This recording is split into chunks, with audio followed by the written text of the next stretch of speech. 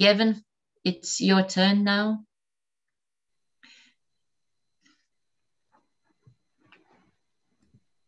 Maybe you Yes. will say what is the theme now and because yeah we know that it's only the teaching the time of teaching but not is not what the, te- the theme is Good. Thank you so much again uh, for your invitation. Sveiki, ačiū visiems už e, pakvietimą. Yeah, it's nice to be with you, but uh, obviously I would like to be with you in person. E, Aišku, gera būti nors ir taip su jumis, bet žinoma, daug mieliau būčiau e, fiziškai kartu su jumis. And uh, I don't know how it is in Lithuania, but uh, yeah, we are we're coming on to another lockdown uh, here in Vienna. Nežinau, kaip ten pas jūs Lietuvoje, bet čia Vienoje panašu, kad e, artėja e, trečioji banga ir mus vėl uždarys. So yeah, we're it's a good time to to spend uh, with the family and with the Lord. Aišku, tai ge- ge- geras laikas tiesiog skirti daug, daugiau laiko viešpačiui ir pabūti su šeima. So I hope the weather's getting nicer over there in Lithuania. Over here, it's beautiful. Na, tikiuosi, kad ir e, oras ten pas jūs Lietuvoje irgi gra gražėja, bent jau čia pas mus Austrijoje tai tikrai labai gražu. And uh, so we're preparing ourselves also for Easter. Ir aišku, mes ruošiamės e, Velykoms. So thank you so much for, for tuning in. Today, we're going to be talking about how to build a leadership team. E, Dar kartą ačiū, kad, e, kad galiu Jums kalbėti. Na ir šiandien, e, šiandien ši- šio mokymo tema bus, mes kalbėsime apie tai, kaip burti vadovų komandą. And every time, anytime in a, in a leadership team, there are many different types of personalities uh, with many different types of gifts. E, Na, be- be- bendruomenėje ir, ir, ir bendruomenės vadovų komandoje iš tikrųjų yra labai įvairūs žmonės, labai įvairios asmenybės su labai skirtingomis dovanomis. So I'd like to tell a little story about a leadership team meeting happening up in the mountains. Tai norėčiau Jums tokią e, trumpą istoriją papasakoti apie vadovų komandos susitikimą vykstantį kalnuose. And they were talking and, and getting wisdom uh, about the future of the community. Na, tiesiog vadovų komanda, jie ten kalbėjosi, diskutavo apie, apie savo bendruomenės ateitį. But uh, the, the, there was uh, an evangelist who was part of the leadership team. He was getting a little bit, uh, uh, he wanted to get out and uh, move around a little bit. He was tired of sitting around.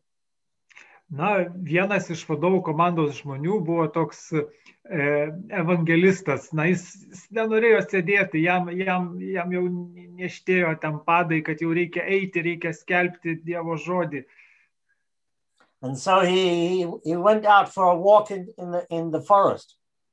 Tai jis tiesiog išėjo pasivaikščioti į mišką. And while he was walking around, he encounters a bear. Na ir bevaikščiodamas jis sutiko lokį. And the bear comes running after him. Na ir tas lokys tiesiog bėga į jį. All of a sudden, he starts running back to the hut. Na ir tas, tas evangelistas, aišku, apsisuka ir, ir bėga atgal į tą trobelę.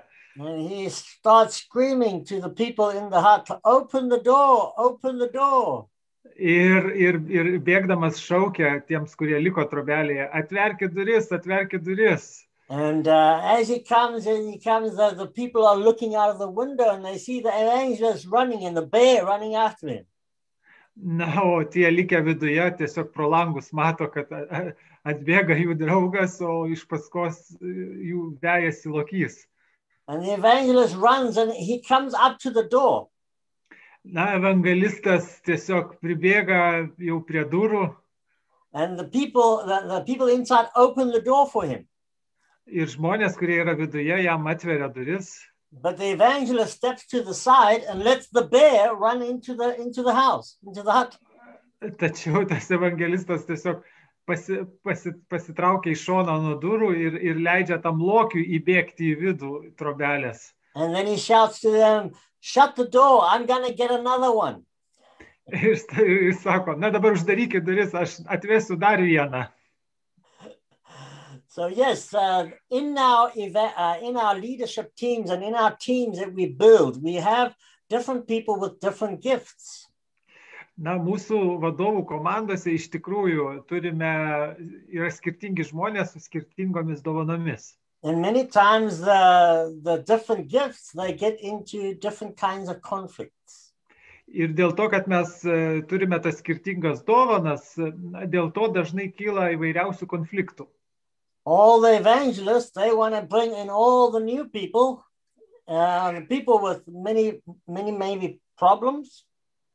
E, Pavyzdžiui, e, e- evangelistiško, evangelizacinio tipo žmonės, na, jie, jie nori į bendruomenę atvesti kuo daugiau kitų žmonių, na, netgi ir tokių, kur, kurie turi kažkokių problemų. And he wants the, the pastors to look after them, and he goes and runs out and gets some more people, some more problems. Ir, ir, ir jie tiesiog atveda tos žmonės ir nori, kad tie pastoracinio tipo žmonės, kurie yra vadovų komandoje, kad jie jau tais atvestaisiais pasirūpintų, o jie patys vėl bėga ieškoti kitų, ką dar galėtų atvesti. Nu, žodžiu, dar meškų ieško.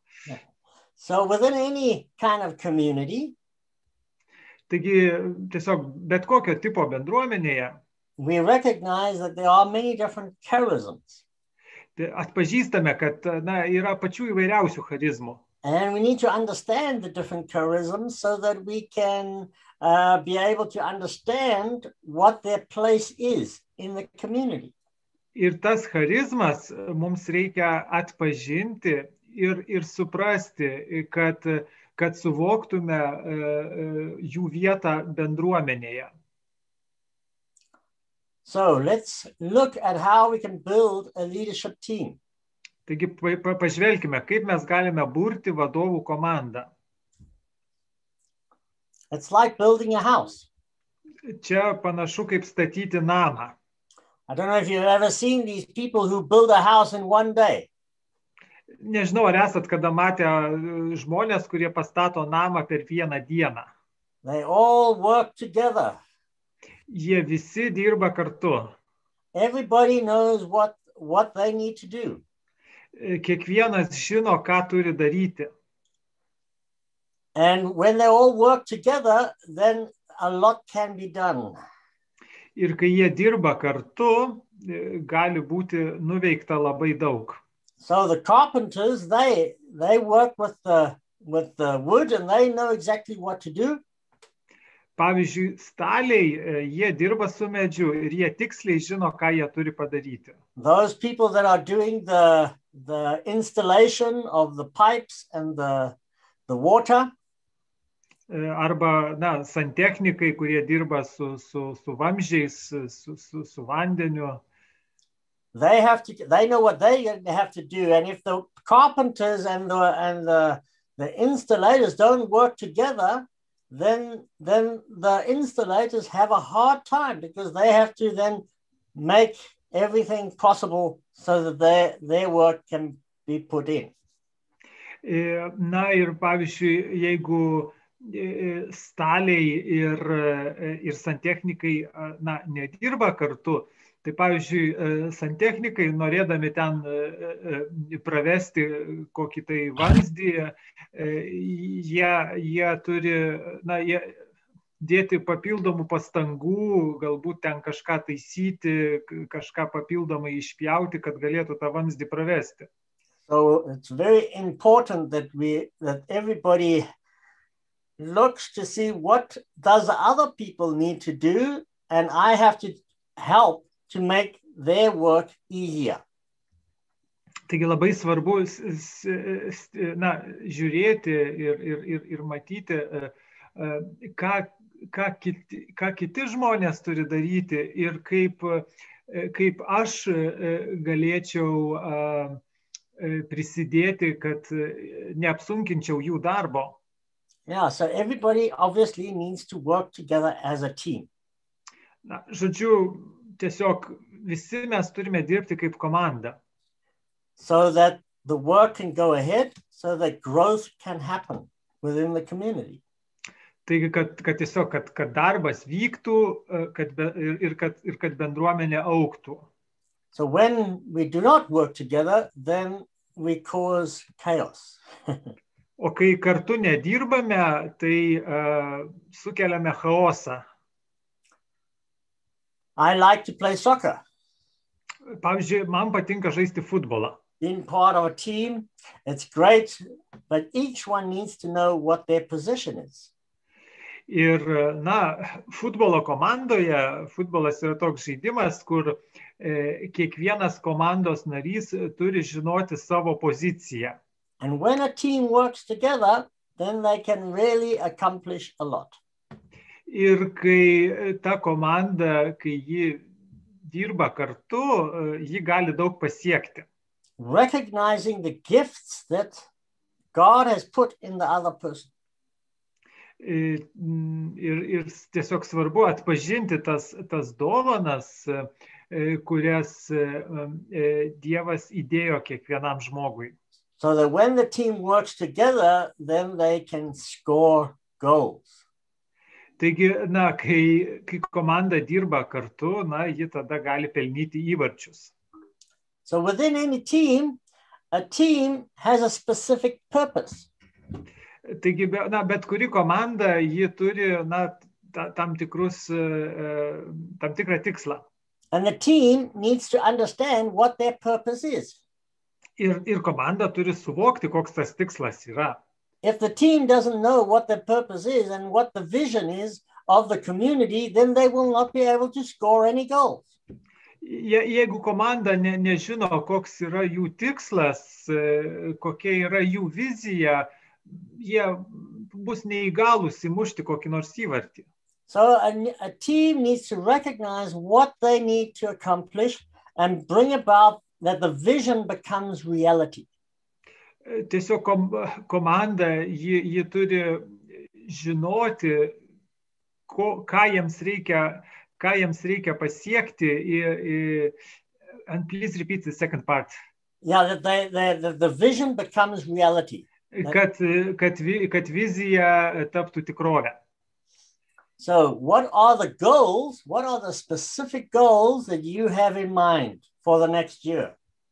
Taigi, pavyzdžiui, kokie yra tie, na, konkretūs tikslai, pavyzdžiui, kitiems metams, kuriuos jūs esate nusistatę. So I know that it's very difficult right now because it's very we can't meet and we're going through a lockdown and it's very difficult to move the community forward to reach the goals that you want to reach.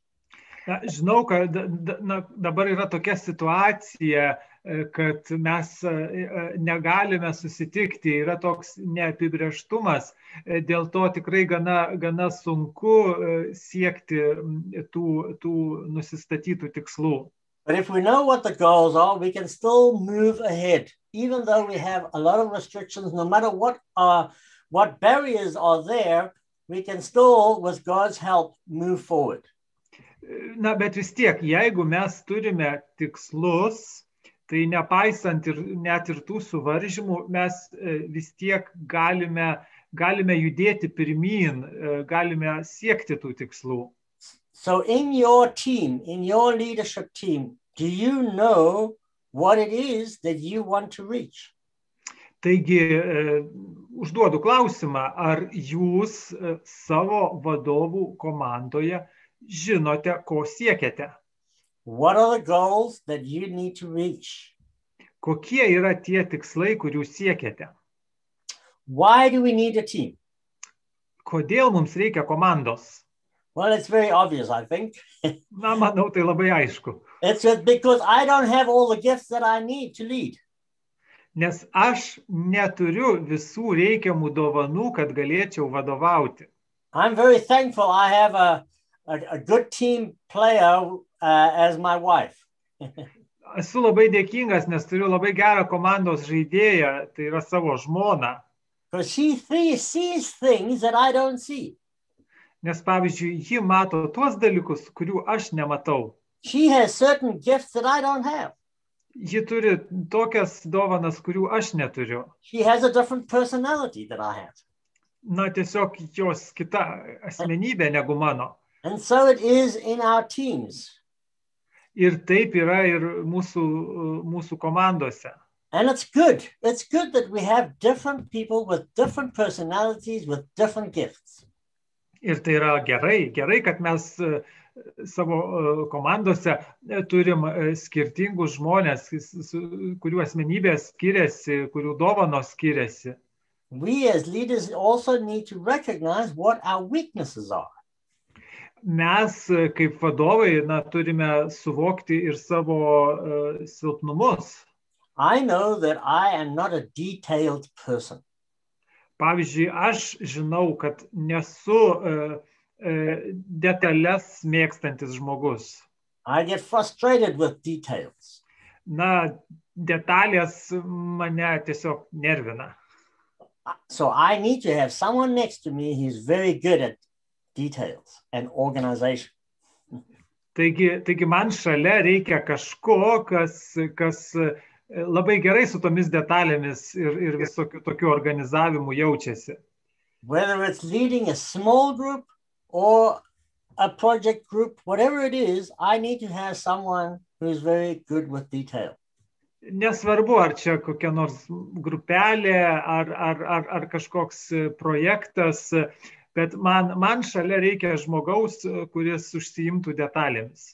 So we need to recognize what our weaknesses are and staff our weaknesses or strengthen our weakness. Find somebody who has those strengths and to be able to work together with you.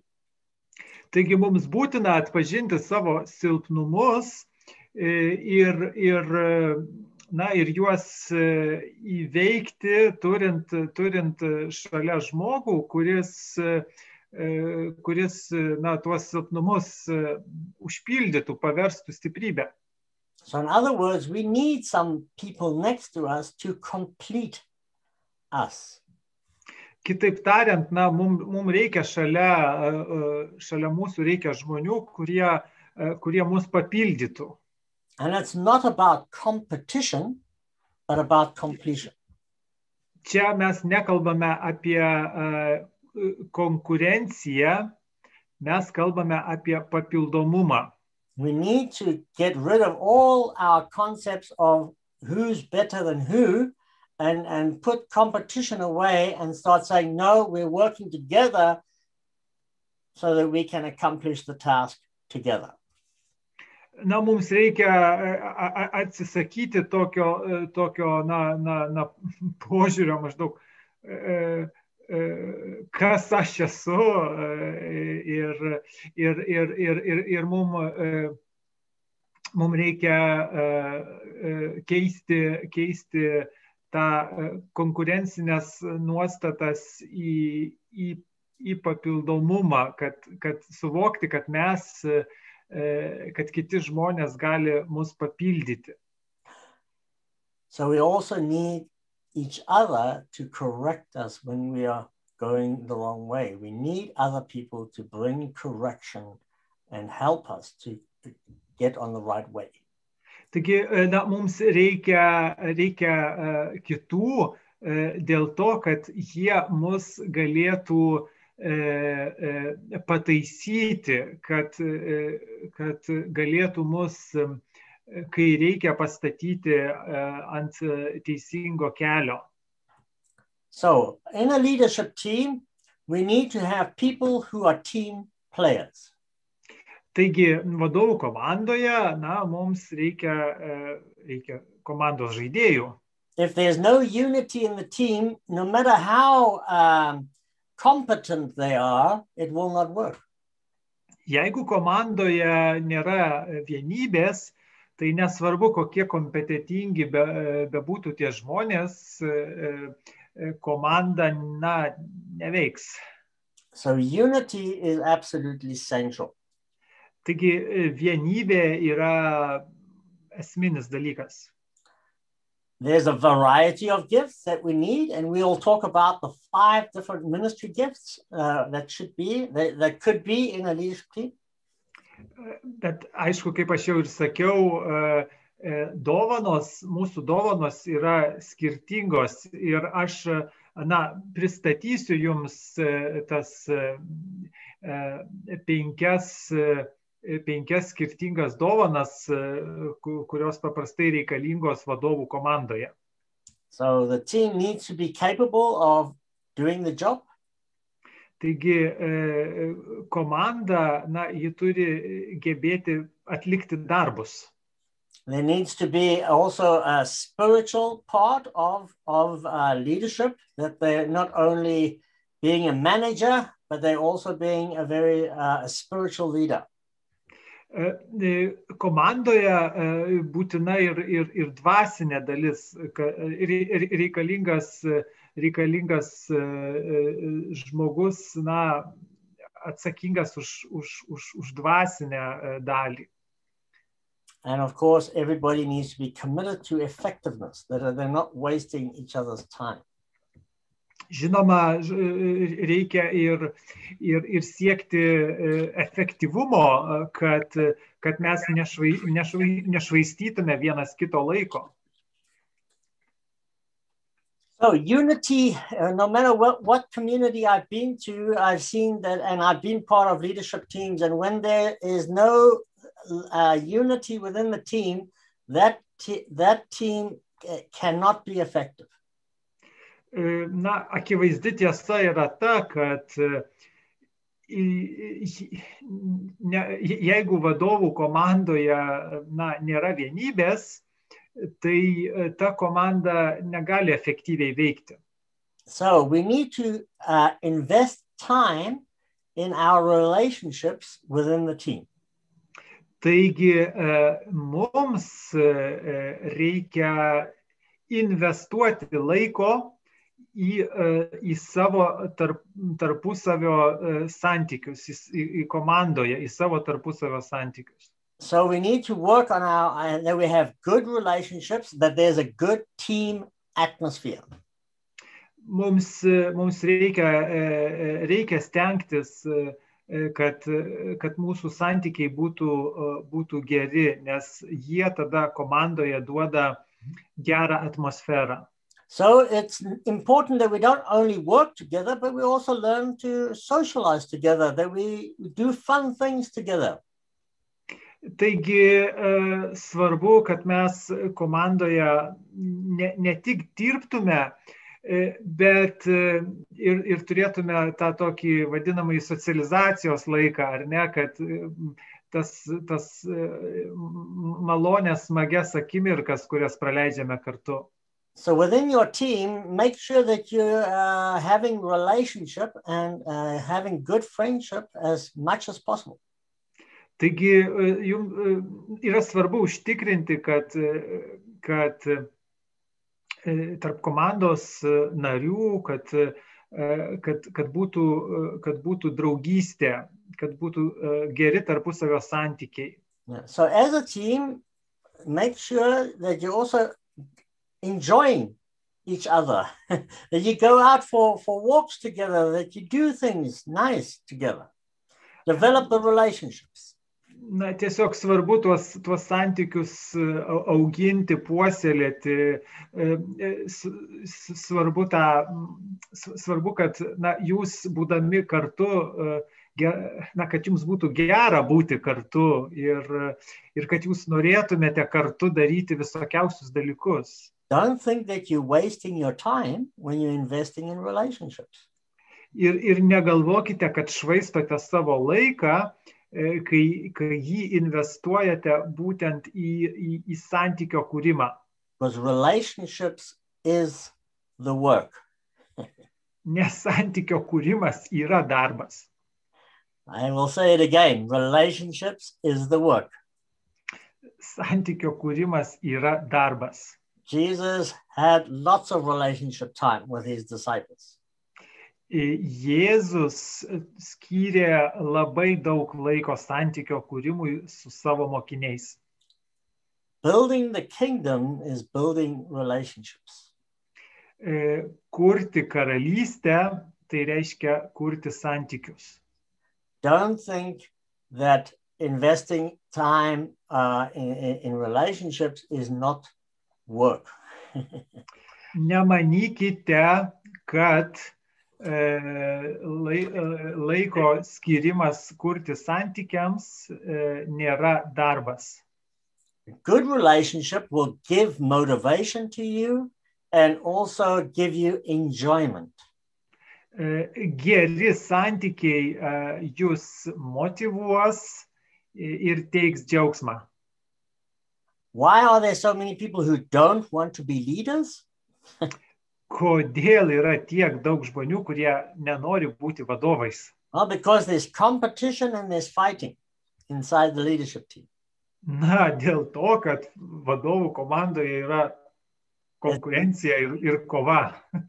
You know, when when parents are fighting, then it's not nice to be in the home. Na, mes žinom, kai, e, kai pavyzdžiui, tėvai tarpusavyje pešasi, tai vai- vai- vaikai blogai jaučiasi, jiems nesmagu būti namuose. So get to know each other. Taigi pažinkime vieni kitus. Get to hear what's happening in the hearts of the of, of one another and and support one another. Pažinkime, ka, kas vyksta kiekvieno iš mūsų e, e, širdise ir, ir palaikykime vienas kitą. Build trust. Pasitikėkime, kurkime pasitikėjimą. If there's no trust, then it's going to be very difficult working together. Jeigu nėra e, tarpusavio pasitikėjimo, dirbti kartu bus labai sunku. Show appreciation towards one another. E, ve- Vertinkite vienas kitą. Encourage one another in the gifts that the other person has. E, Drąsinkite vienas kitą, e, atkreipdami dėmesį į tas, į tas dovanas, kurias kitas turi. Show respect and listen to one another. Gerbkite vienas kitą ir e, klausykitės vienas kito. Try to understand one another. Bandykite vienas e, kitą e, suprasti. Don't be afraid to share what your opinion is. Nebijokite dalintis, ką galvojate, ką manote. And be don't judge one another. Ir neteiskite vienas kito. Have an atmosphere of blessing within your leadership team. E, e, Tebūnie jūsų e, vadovų komandoje te, te tvyro palaiminimų atmosfera. But also, of course, you need to have an atmosphere where you are free to share what you feel and or your give your opinion without feeling criticized. Bet aišku, labai svarbu, kad galėtumėte pasidalinti tuo, ką jaučiate, be, be baimės būti sukritikuoti. Mm-hmm. Try to demonstrate unity also in the group. E, Taip pat svarbu, e, rodykite e, vienybę ir visoje grupėje. If there's no unity in the team, there will not be any unity in the community. Jeigu jūsų vadovų komandoje nėra vienybės, tai tos vienybės nebus ir visoje bendruomenėje. There's nothing worse than seeing a leadership team fight and everybody knows about it. E, And everybody Knows about it. All the members Uh-huh. know about it. Ja, ja. E, Nėra nieko, e, nieko blogiau, kai, kai vadovų komanda tarpusavyje kovoja, o visa bendruomenė apie tai žino. So team, every together, everyone achieves more. Štai čia matome, e, na, angliškai team ar ne komanda, keturios raidės ir kiekviena vardė, raidė ką reiškia. Tai kartu e, kiekvienas pasiekia daugiau. So it's nice when you feel that you're all part of a team and that you are doing it together. Yra labai gera, gražu, kai mes e, jau- jaučiamės, kad esame e, komanda ir, ir, ir kad galime daryti dalykus kartu. It's good to be feeling part of a team. Tikrai gera jaustis komandos dalimi. So, as I said, the team must be united. Taigi, kaip sakiau, komanda turi būti vieninga, because this will bring effectivity and it will bring life to the whole community. nes tai visai bendruomeniai duos tokio efektyvumo, vei- vei- vei- veiksmingumo, effectivity and what? So we talked a little bit about the vision. Gavin, sorry. You know what the team, uh, the vision is clear. sorry, Gavin, you talked eff- effectivity and what? Uh, enjoyment, E, was Duos efektyvumo life, taip, bring life in the team, in the whole ir, team. ir gyvenimo džiaugsmo visai, visai bendruomeniai. Okay. Mhm. So the, the team needs to have a clear vision. They need to know what they want to reach. Taigi komanda turi turėti aiškę viziją, žinoti, ką jie nori pasiekti. And we need to understand why does it the, why does it need to be done through this team? Or perhaps it needs to be done by another team. Na ir sva- svarbu, svarbu aišku suvokti, kodėl tai turi daryti būtent ši komanda, o, o, o galbūt kažkokią užduotį ir tikslą ga, jo siekti gali kita komanda. Sometimes a team thinks they have to do everything. Kartais komanda galvoja, kad jie turi padaryti viską, but they can also create other teams to do different parts of the work. tačiau jie gali kurti kitas komandas, kad jos atliktų kitus darbus, kitas užduotis. And we will get to that a little bit later when we talk about delegation and how, how to develop other teams. Apie tai šiek tiek vėliau pakalbėsime, kai kalbėsime apie, apie delegavimą, apie tai, kaip burti, burti kitas komandas. But each one of you need to understand why are you a part of the team? E, Ir e, kiekvienas mes turime suvokti, suprasti, kodėl esame komandos dalis, What is your position? kokia yra mano pozicija, What is your gift that you have to bring into the team? E, kokia yra ta dovana, kurią aš įnešu į komandą, Yeah, what is your responsibility? kokia yra mano atsakomybė. Do you understand the other people's responsibility also in the team? Ar aš e, taip pat suvokiu, kokios yra kitų žmonių atsakomybės komandoje. So we need to understand what the position of each person is. Taigi mes tiesiog, e, na taip kalbant e, sporto terminais, e, e, turime su, suprasti, e, kokios pozicijos žaidėjas yra kiekvienas komandos narys. Yeah. So why am I a part of this team? Taigi, na, kodėl aš esu tos komandos dalis? What do you have to bring in the team? Ką turiu įnešti į komandą? And why are you important as part of the team? Ir kodėl aš esu svarbus komandai? Do you feel an important part of the team? Ar aš jaučiuosi, kad esu uh, svarbi komandos dalis? Or are you just occupying space? A, o, o gal aš tik užimu vietą? I don't know about you, but I want to know what my position is and what, what do I have, what is my responsibility and why I am so important to be part of that team. Na, ne, bet čia svarbu ne tiek galvoti apie, apie kitus, kaip pirmiausia suvokti, e, kokia yra, e, e, koks yra mano vaidmuo komandoje, kokia yra mano pozicija toje komandoje. Because if I'm not, um, if I don't know, then I won't invest my time and energy into the team. Nes jeigu aš nežinau to, jeigu neturiu atsakymo iš šios klausimus, aš tada neskirsiu, neskirsiu savo laiko, savo energijos tai komandai. And being part of a team costs time and energy.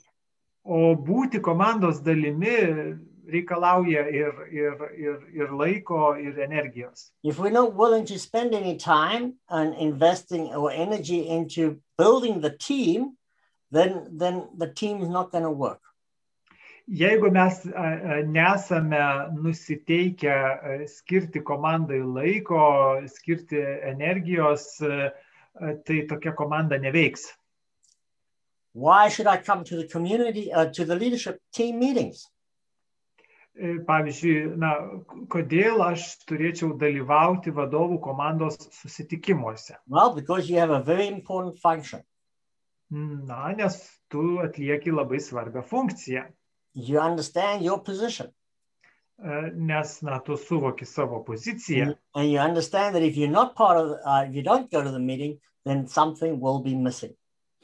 Ir tu suvoki, kad jeigu nedalyvausi, tai a, tiesiog toje vietoje atsiras kilė. So let us know that every member of the team is important.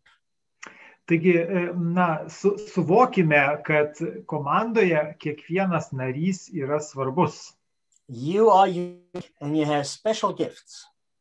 E, Na, e, mes visi esame unikalūs ir, ir visi turime konkrečias ypatingas dovanas.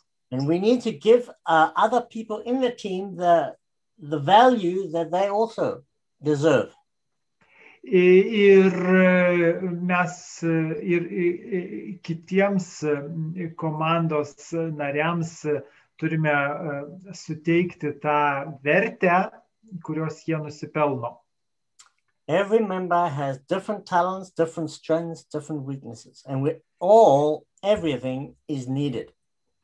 Ir kiekvienas komandos narys turi skirtingus talentus, skirtingas stiprybės, e, skirtingas silpnybės ir visa tai yra reikalinga.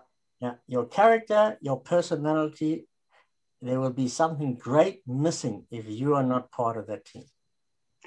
E, Tas mūsų e, svarbus ir, ir, ir mūsų charakteris ir, ir, ir mūsų asmenybė. Ir e, na, jeigu mes, e, mes nebūsime komandoje tokie, to, to, tokie kokie esame, na, bus praradimas komandai. So, developing your team atmosphere and developing the team is a very important part of being a leadership team. Taigi e, vadovų, vadovų komandoje e, e, labai e, svarbu yra kurti santyki ir, ir, ir, ir, ir, ir, ir statyti, kurti pačią, pačią komandą. Yeah. So, make time that you take time to develop this atmosphere and the team atmosphere that the team can function well. Taigi tiesiog skirkite laiko, kad galėtumėte e, na, kurti tą gerą, e, e, gerą komandos atmosferą, nes tai prisideda prie gero komandos e, veikimo. So, if you have your Bible with you, I'd like you to turn to Ephesians chapter 4. Taigi, e, jeigu, jeigu turite e, na, savo e, e, e, Biblijas e, e, po ranka, tai norėčiau, kad atsiverstumėte e, Efeziečiams, e, e, laiško Efeziečiams ketvirtą skyrių. In Ephesians chapter 4, we know it talks about the five different ministry gifts that, are, that exist uh, in the body of Christ. E, Ten e, kalbama e, apie e, e, penkias e, skirtingas dovanas e, esančias Kristaus kūne.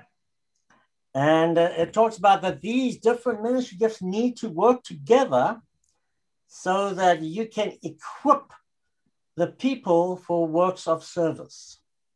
Ir ten kalbama apie tai, kad na, tas, e, tas penkias skirtingas dovanas e, e, turintys žmonės turi veikti kartu, kad, kad, jos, kad jos visos duotų tinkamą rezultatą. Mhm. So basically, the, the sometimes the, the function of a leader Taigi, na, iš esmės e, vadovo funkcija is to equip people for works of service.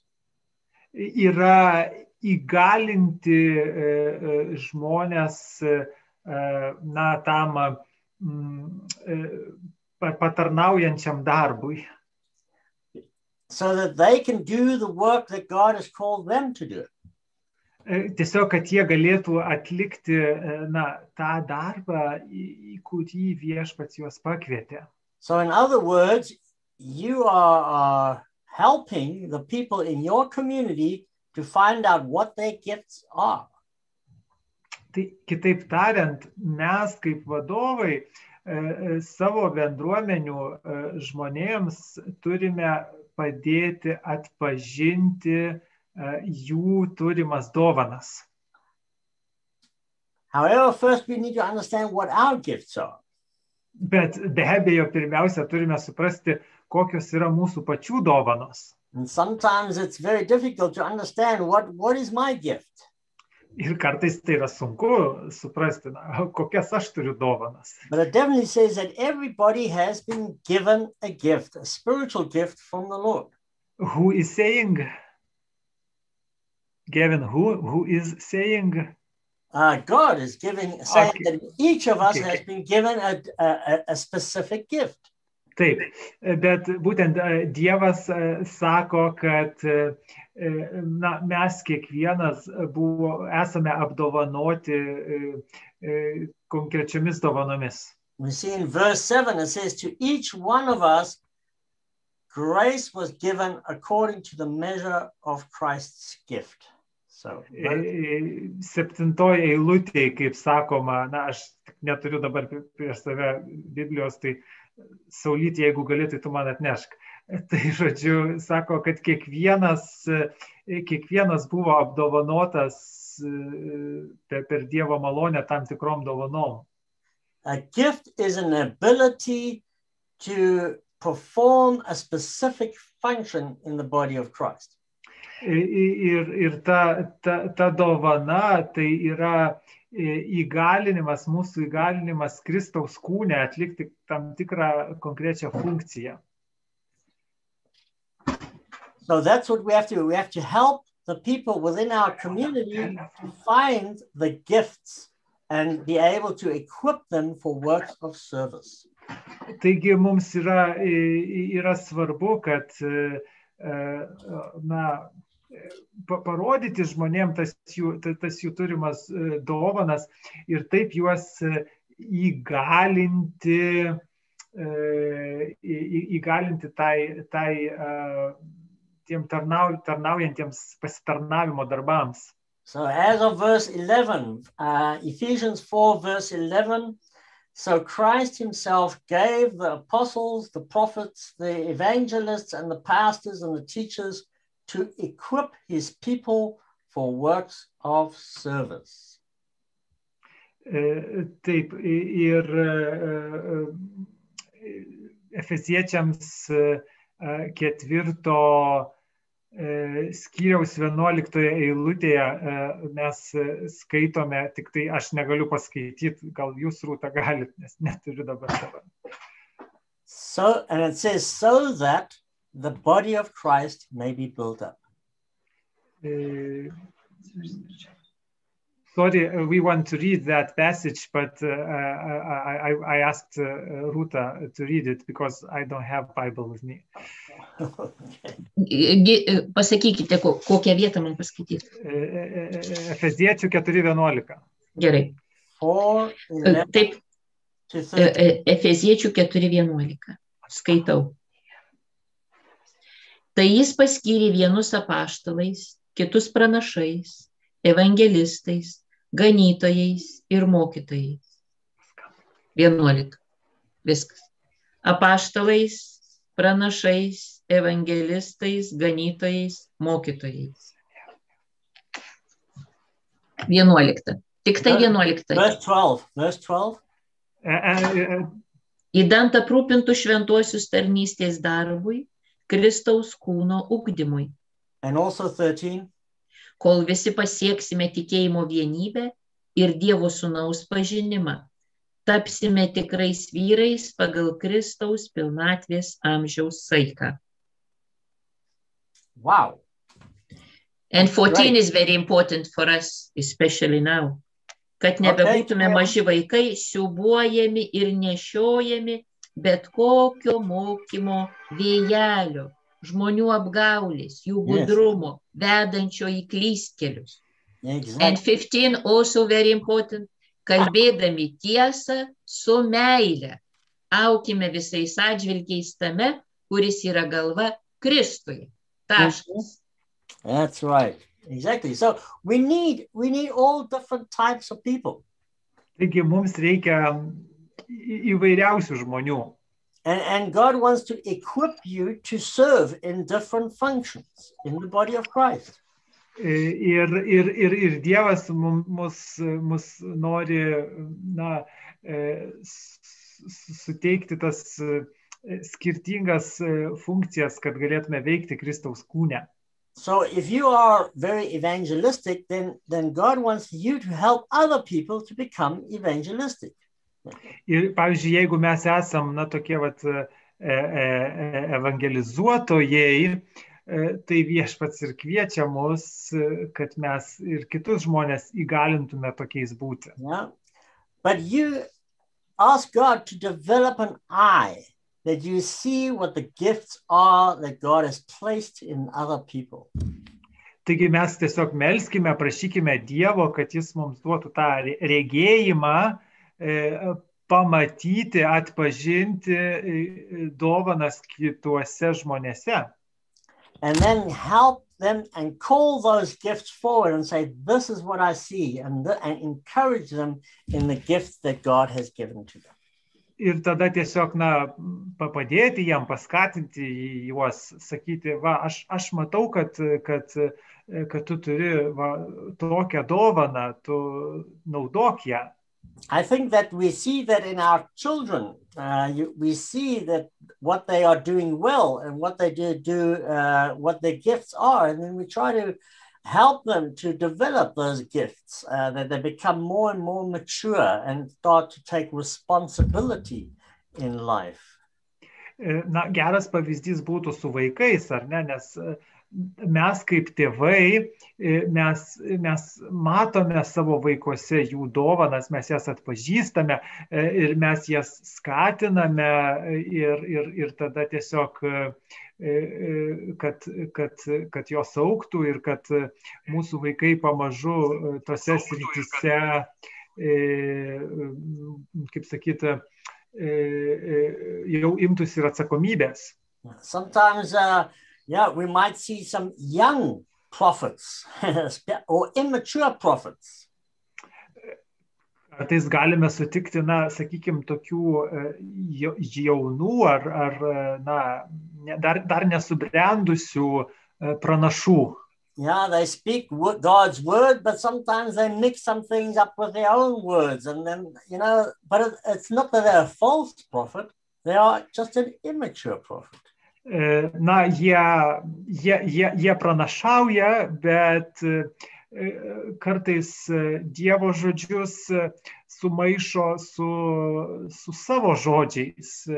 Ir, ir, ir tai nereiškia, kad jie yra klaidingi pranašai, tiesiog jie dar nėra pakankamai subrendę.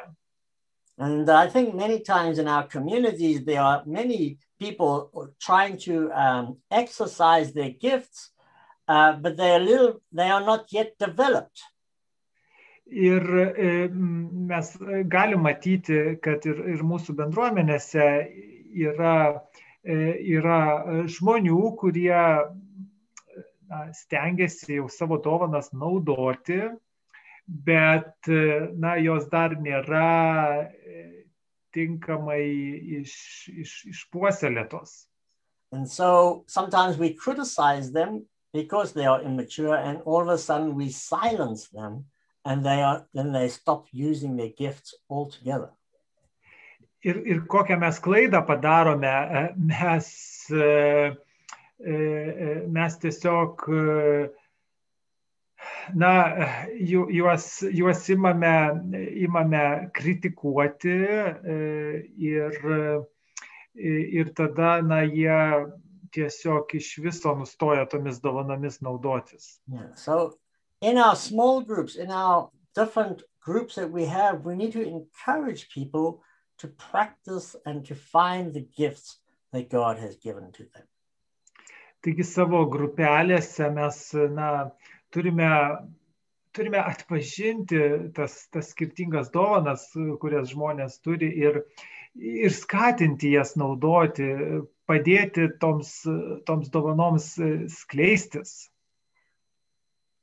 What about what, what how do we recognize these things? Kaip, kaip mes tai atpažįstame? Well, I'll give you a little example. Tokį pavyzdį pasakysiu. Say, for instance, you come up to an accident. There's a, a big accident on the street. Tarkim, įsivaizduokim, na, gatvėje įvykusi kažkokia didelė avarija. Well, then there will be some people who will be caring and making sure that the person has enough care. E, tai bus tokių žmonių, kurie, na, e, e, stengsis, na, rūpinsis žmonėmis, kad jais būtų pasirūpinta. Then there might be uh, teachers who will say, well, they shouldn't have done this and they shouldn't have done that and they should have done this. Those are the teachers. bet bus ir tokių žmonių, kurie stovės, nieko nedarys, bet komentuos sakys, ne, ne, ne, čia reikia ne taip daryti, o taip daryti. Jūs čia ne taip padarėt, reikėjo taip padaryti. The evangelist will be starting to preach to everybody and said, if you give your life to Jesus, then you'll be ready for eternal life. E, eh, o bus tokių, kurie evangelistai, kurie sakys, na, ar jau esi pasiruošęs atiduoti savo gyvenimą Jėzui, būsi pas, atiduok savo gyvenimą Jėzui ir tu, eh, kaip sakoma, ir taip, ir tu, ir, ir, ir, ir tu gausi amžinai gyvenimą ir tiesiog, na, kiekvienas išnaudos tą, išnaudos tą savo galimybę pagal savo dovanas. The apostle will say, well, we need to, um, we need to create teams to be able to serve, to help people um, in, and train them so that they can help people when they go through an accident. Na, apaštalai sakytų, ne, ne, ne, mums reikia pirmiausia, pirmiausia, mums reikia žmonės apmokyti, reikia parodyti jiems, kaip čia ką daryti ir, ir tiesiog juos paruošti, kad, kad jie mokėtų tinkamai reaguoti įvykus avarijai. The prophet will also be starting to talk about what God was trying to say through this accident. Na, o pranašas e, imtų, imtų bandyti aiškinti, e, ką čia Dievas per šitą įvykį, per, per, per šią avariją nori visiems pasakyti. So each person has different personalities and they, they have different gifts, and uh, we should allow those gifts, no matter how immature they are, to develop. Taigi, e, na, mes kiekvienas esam skirtinga asmenybė, kiekvienas turim tas dovanas. Ir, ir kiekvieną, na, ir, ir turim leisti, leisti e, padėti tom dovanom vystytis, aukti, ne, nepaisant to, kokios jos, tarkim, yra nebrandžios iš pačių pradžių. Yeah, so all these five different gifts are very, very important in the body of Christ. Kristaus kūne visos šios penkios dovanos yra labai svarbios. And I think it's good to have uh, an evangelistic type in, in your leadership team. Ir aš nebejoju, kad yra labai gerai na, turėti jūsų e, vadovų komandose evangelistinio tipo žmonių. Or the, pa the pastoral and the teachers are very important. bet lygiai taip pat ir, ir pastoracinio tipo ar, ar, ar, ar mokytojų irgi But- svarbu turėti. But also the ap uh, apostolic, the people who, who are pioneering, who want to initiate new things. Bet lygiai taip pat ir, ir to ir, ir apaštalinio tipo žmonės, ar ne, tie, kurie nori inicijuoti naujus dalykus. They have more overview picture of, of the whole community and uh, of the whole body of Christ and not just of the community. Jie gal net turi tokį platesnį matymą, ne, e, tokį kaip viso Kristaus kūno, ne, ne, tik, ne tik tos mažos dalelės bendruomenės. In Ephesians 4, it talks about these five uh, ministry gifts. Taigi Efeziečių ketvirtam skyriui va, kaip tik apie šitas penkias tarnystės dovanas kalbama. But in Romans, it also talks about um, uh, some other gifts. O romiečiams, laiškė romiečiams kalbama dar apie kitas dovanas. In Romans 12, E, Romiečių 8, 8, yes? 3 to 8. 3 to 8, okay. Mhm. I can talks- read it. Yes, it talks about people with with more organizational and uh, administrative gifts. Ten kalbama daugiau apie tas admini, e, organizacinės, administracinės dovanas. and to di- diligently govern Apie tokį, na, e, e, ti- tinkamą, e, išmintingą vadovavimą. yeah so so that and being an administrator and being an organizer is also just as important Taigi, na, būti, būti administratoriumi ar būti organizatoriumi yra lygiai taip pat svarbu. An administrator is more detailed whereas an organizer um, has more of a perhaps an overview Na, administratorius yra tas toksai mm, žmogus, kuris turi pagalvoti apie visas detalės. E, Tuo tarpu e, organizatorius, na, turi tokį bendresnį matymą. And this is very important because we need th- these people us to go from point A to point B. Na, ir, ir, ir e, labai svarbu, tai yra labai svarbu, nes, na, e, žmonės iš taško A į tašką B turi nueiti. Yeah. So Martinez is an administrator. He's very detailed and he makes sure that everything is in place and he moves the group from one place to another. Na, sako Vagevinas, kad, kad aš esu na, vat, a- administratorius, vat, užsiimu detalėm ir pasirūpinu, kad žmonės nueitų nuo taško A iki taško B. Yes. So yeah, we, we need these people. Taigi mums reikia tokių žmonių. And when everybody's in place, then we can really move the community forward. Ir, na, kai, kai kiekvienas yra savo vietoje, tai iš tikrųjų mes, mes galim judėti pirmin kaip bendruomenė. Perhaps another way of looking at things is um, seeing the apostle as the visionary looking ahead, making sure, uh, no, the apostle, we have the visionary leader who is looking ahead. Na, da, dar yra ir galim kalbėti apie tokį vadovą, vadovą vizionierių, kuris na, žvelgia pirmyn į priekį. And we have the pastoral leader who is caring for the community. Turim tą e, pastoracinio tipo vadovą, kuris labai, na, toks yra rūpestingas, rūpinasi e, bendruomenę. We have the apostolic leadership who is moving the whole community ahead. Turim e, apaštalinio tipo vadovą, kuris, e, na, e, kuri, kuriam svarbu veikti, kad, kad vyktų kažkoks veiksmas, judinti žmonės. And then we have the organizational leadership, which is managing the progress. Yra organizacinio tipo vadovas, kuris, na, e, užtikrina, kad vyktų procesai. And then the administrator who does the de- uh, does the de- details about the organization and the communication.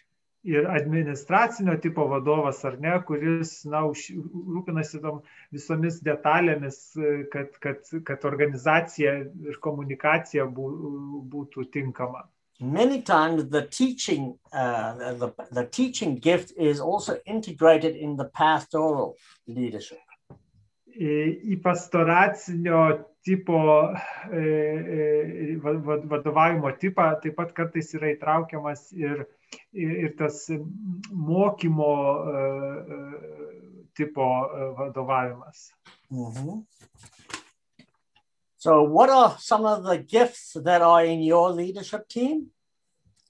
Taigi, kokios, ko- kokios yra, na, tos, vat, dovanos, iš, e, e, ką iš, iš tų dovanų mes turime savo vadovų komandoje, What are some of the things that are missing? o ko trūksta. What are some of the people that you say, oh, we actually need to have maybe someone who's more evangelistic? Ar mes, na, ar, ar turime savo vadovų komandoje, na, žmogų, kuris yra, tarkim, e, tokio evangelizacinio tipo. We need to try to make sure that that uh, obviously in any leadership team we will have things that are missing. Na, iš tikrųjų, kiekvienoje vadovų komandoje realiai bus trūkumas kažkokio tipo. And then we can be on the lookout for people with different gifts so that we can integrate them more and, and allow them to uh, influence the community. Bet tada iš tikrųjų turėtume na, da- da- dairytis, da- dairytis aplink, dairytis, ieškoti to, to trūkstamo tipo žmonių ir, ir juos įtraukti į, į, į komandą. But try to build your community to have a balanced uh, of, of gifts. Ir, ir, ir iš tikrųjų statyti, statyti mm, be- bendruomenę taip, kad joje būtų subalansuotos visos dovanos. Now, obviously, the size of your leadership team will be will differ depending on the size of your community.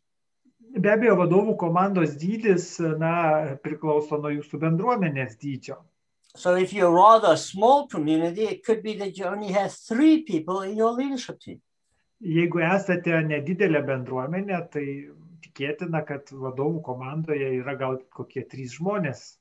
So, what three do you have? Taigi, kokius tris jūs turite, kokio tipo?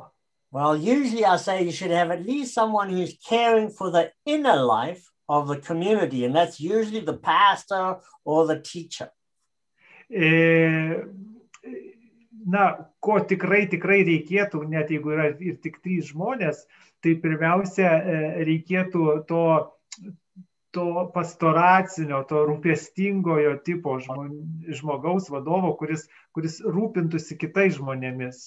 So they care for the inner life and the, and making sure that the people beca- uh, get taught and they get become mature disciples. Kartais, kartais tai yra ir, ir, ir, ir mokytojo tipo žmogus, ar ne? Jisai, jisai rūpinasi tuo vi- vidiniu be- bendruomenės gyvenimu, rūpinasi e, e, e, žmonių e, mokymu ir, ir tuo, kad jie auktų. Then you should have maybe one person who's more evangelistic or more apostolic, who is looking outward and pushing the community out in outreach and in evangelism and in ministry. Taip, ir reikėtų tada to tokio e, ev- evangelistinio ar, ar, ar, ar tokio ap- apaštalinio tipo žmogaus, ar ne, kuris, na, kuris judintų, judintų bendruomenę, kuris, kuris e, tiesiog e, stumtų žmonės, žmonės į, į, į, į išorę, e, kad, kad, kad vyktų kažkoks e, na, veiksmas, kad vyktų evangelizacija. Yeah, and then the third area will be about the organizing and the uh, administrative uh, of the community, making sure that it's it's running well together.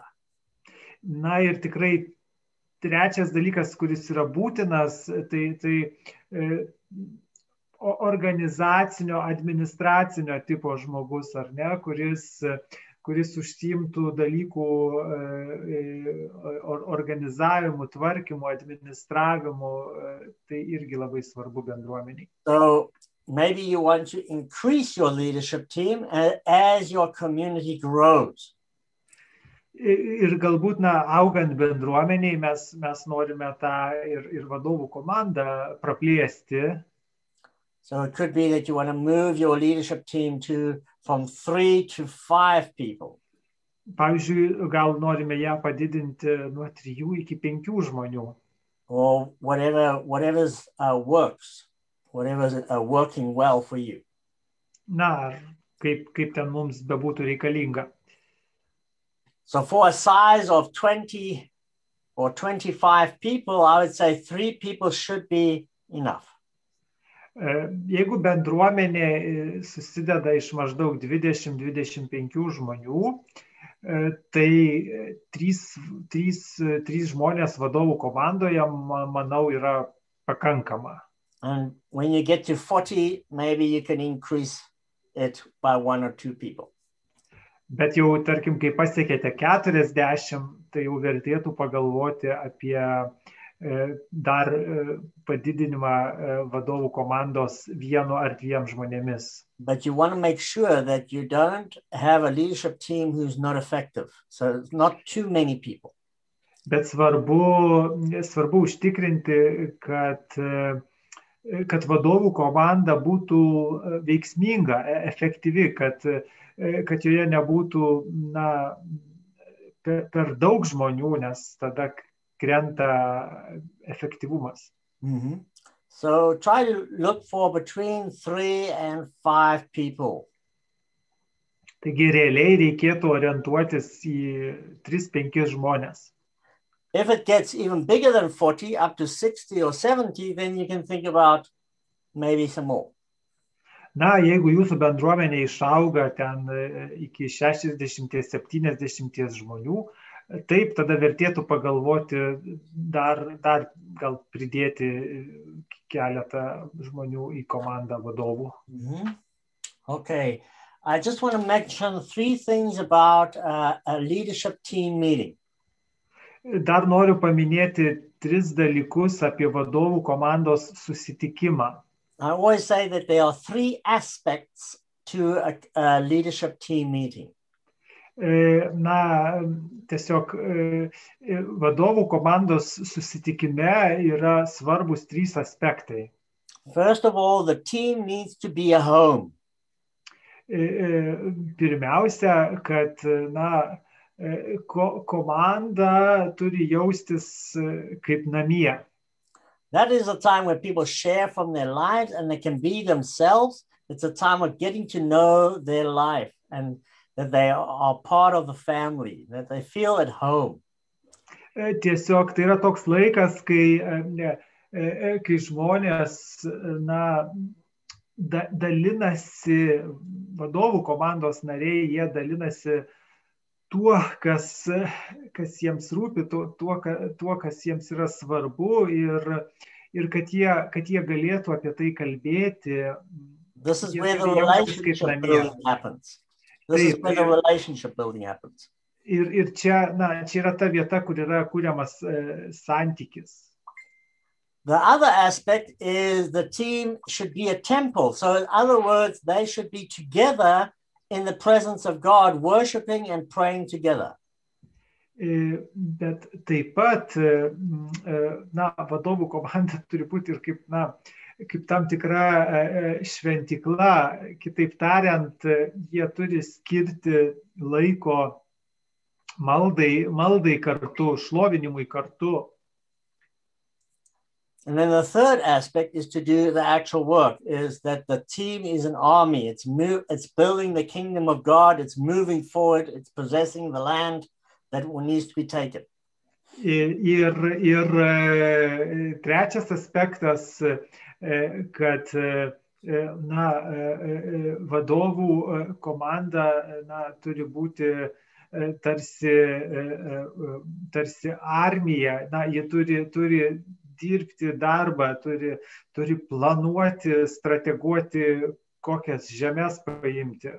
So when you arrange your uh, leadership team meeting, make sure that you have some time for all three of these areas. E, taigi, kai e, organizuojame savo vadovų komandos susitikimą, pasirūpinkime, kad atsirastų vietos visiems šiems trims dalykams. Time for relationship with each other. Laiko, laiko santykiui su vienas kitu. Developing trust. Kad augintume pasitikėjimą. Time together before in the presence of God. Laiko kartu uh, Dievo artumoje. But then also then the time to do the work and being the army. ir taip pat eh, na, laiko eh, nuveikti konkrečius darbus, eh, būti, būti tą armiją. It could be that you change from time to time that there's more uh, emphasis on army and the temple, and then another time when there's more emphasis on the home and being the temple. So you can adjust how it fits you. Ir, ir čia, na, tiesiog tai tai galima pagal situaciją pritaikyti. Kartais, kartais galbūt reikia būti labiau armija ir, ir truputėlį mažiau namais ar šventovė, o kartais kaip tik reikia, reikia būti na, ta šventikla ar, ar, ar, ar, ar namais, ar neskirti daugiau laiko tam. Tai čia tikrai yra, yra kaip sakoma, lankstu, turime matyti, kas mums yra svarbu tuo laiku konkrečiu. Remember that leading a team is more than just uh, management, but it's also a spiritual work. Nepamirškime, kad vadovauti komandai tai, tai čia nėra tik tai vadyba, čia yra ir dvasinis darbas. So it is more about yeah, being a spiritual leader. Taigi turime kalbėti ir apie buvimą dvasiniu vadovu. We should not fall into the mistake of becoming an organizer or a manager only. Neturime na, daryti tos klaidos ir patapti tokiu tik tais, tik vadybininku, tik organizatoriumi. Part of being a leader is also making steps forward in faith and, and moving the community forward in a spiritual way. Nes vadovauti, vadovauti komandai, vadovauti bendruomeniai, tai reiškia ne tik daryti administracinius dalykus, bet ir, ir, ir daryti tikėjimo žingsnius, aukti tikėjime ir, ir, ir, ir vesti, vesti tikėjimo keliu komandą. Mm -hmm. Yes, it's uh, all should be done by the team.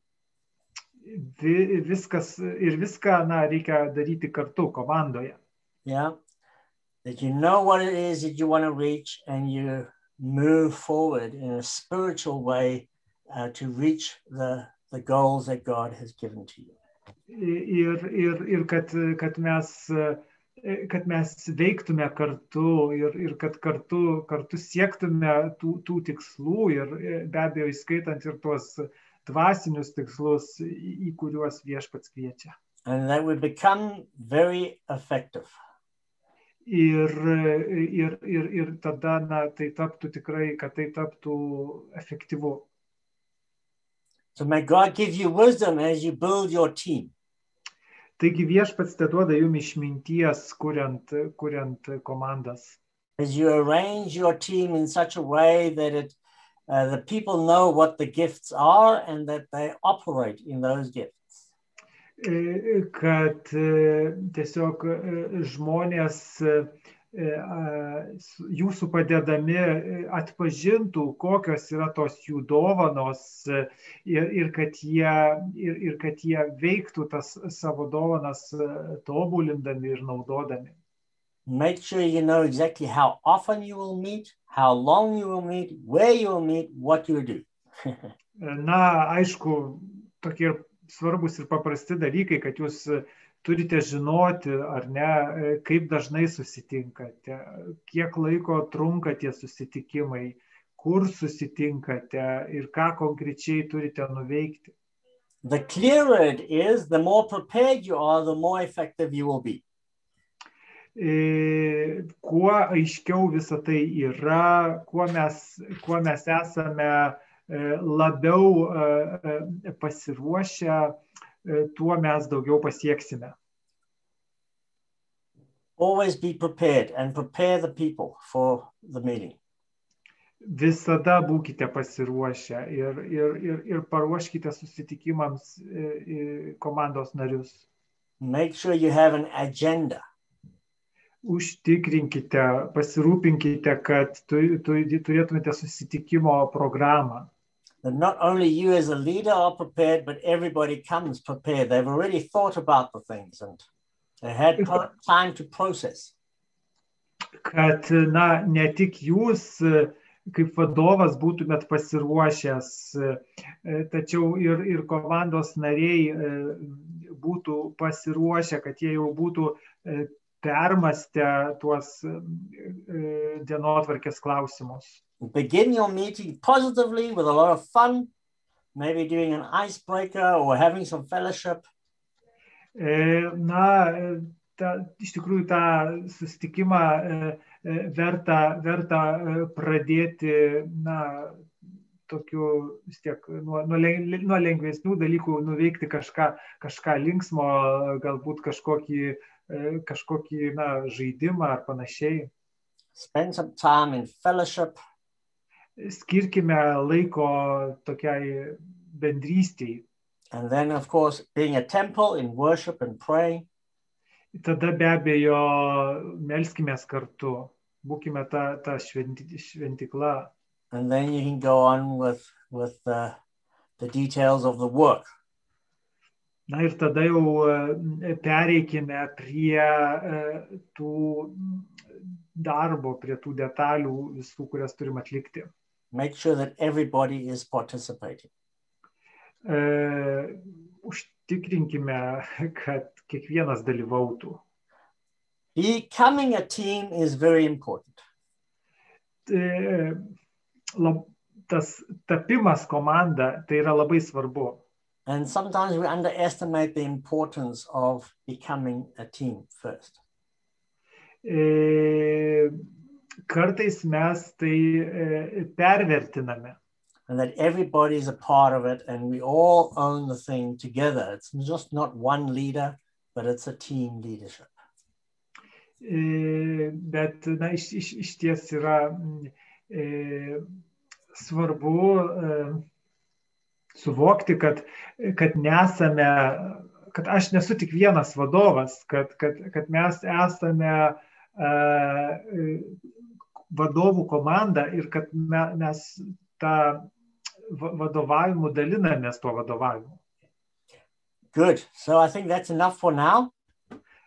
Gerai, manau, kad dabar kol kas užteks. I hope you get a, a little bit of a more concept of how to build your team. E, Tikiuosi, kad na, gavote šiokių tokių išvalgų, kaip, e, kaip kurti komandą. Perhaps we can have a, a if you have any questions, uh, maybe we can do that a, a little bit later. Na, jeigu kažkokių e, klausimų jums kilo beklausant, aš manau, mes e, kitoje dalyje galėsime tam skirti laiko.